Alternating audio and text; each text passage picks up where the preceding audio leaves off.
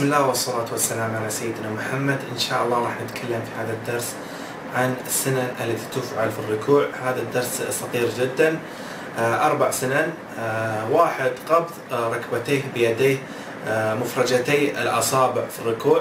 اثنان مد ظهره في ركوعه مستويا ثلاثة جعل المصلي رأسه حيال ظهره ولا يخفضه ولا يرفعه أربعة مجافاة عضدية عن جنبي. هذه السنن التي تفعل في الركوع والله أعلم.